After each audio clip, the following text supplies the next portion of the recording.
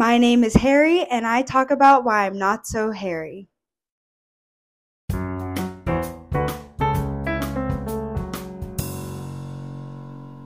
Welcome back to Harry Not So Hairy.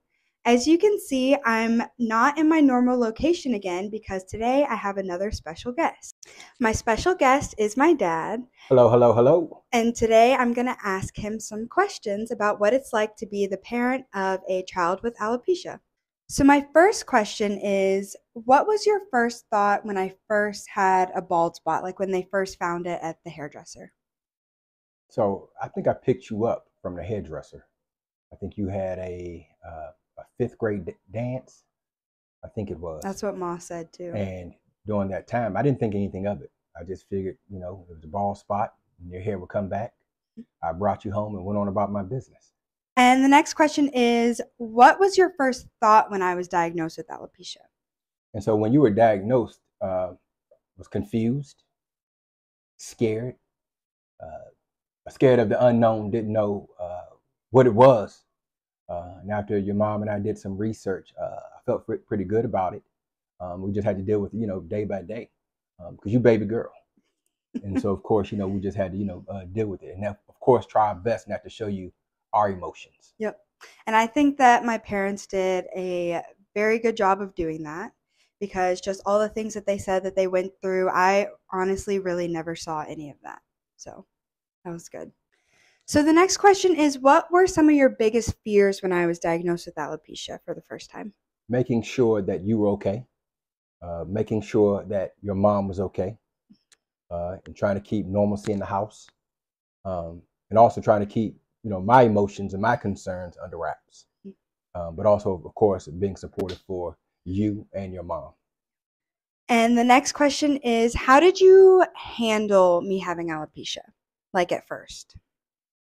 After getting over uh, the shock and uh, the confusion uh, and my emotions, it wasn't about me or your mother. It was about you. Mhm. Uh, so we wanted to keep things as normal as possible. And of course, during that time, you were playing soccer. Yep. And then we continued to expose you to other sports that you began to gravitate towards. And so we tried to keep things as normal as possible. Yep. And we figured by us keeping it, you know, as normal as possible, you would be fine. And it turned out that way. Yeah. And I completely agree with that because, like I kind of mentioned when I did the interview with my mom, every like sport and everything that I played, they would make sure that alopecia wouldn't stop that. So, like when I would do swim, I would just have a swim cap with the strap under, or for my sports outside, like soccer, I would just have the headband wigs where it looked like everybody else. And so, I think that they also did a very good job with that as well. And I was that daddy on that sideline. You always heard my voice. Yep, always. always heard my voice because my thing we we're gonna get the job done, give Yep. 110 percent. Yep, yep. And for my last question, I just want to ask you what is some advice that you have for other parents of kids with alopecia? Love your kids regardless. I mean, because they're your kids, uh, and always support them, uh, and understand that alopecia is a speed bump in the road, and, and of course that's something that your kid can get over, you can get over. You also got to keep in mind it's not about you; it's about your kid, uh, and you know, you baby girl. Yep. You know, I'm gonna always love you regardless. Yep. You know, and support you know your endeavors. I know I said that the last question was the last question, but before we end, I really want to touch on the topic that me and my mom talked about, which is relationships. So I just want to know your view on that. Okay. Uh, my view on relationships. My view on relationships, or as it pertains to you. As it pertains to me, like having alopecia and everything Okay. that mom was talking about. Okay. So I saw the last, well, the last two videos when your mother was talking about it. You cool? Yeah. You good? Yeah. All right. Well, if you good, I'm good. That was a good Yeah. answer. I mean, that's my attitude about it. As long as you're good, I'm good. Because to me, you're gonna always be baby girl. So whatever makes you happy, I'm good. Yep. And I know you don't tell us your business. I wish you would. but I get it and understand that. Yep. But we're always here for you. You know that. yes, I do. Okay. And I tell you all the time, over the past 23 years, I haven't had a good night's sleep. I don't think I slept eight hours straight over 23 years. Because it's a baby girl. Another question.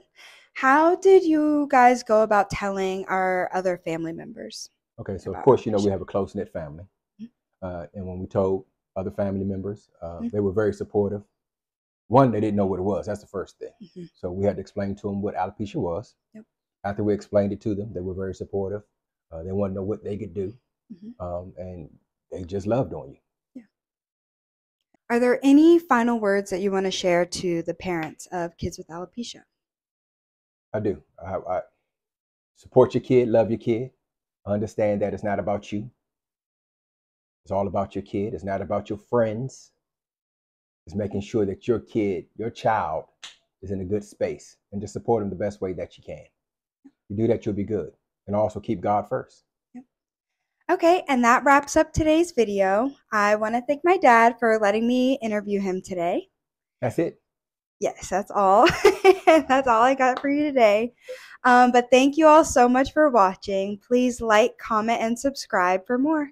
And leave any comments or questions that you have below. Bye. Take care.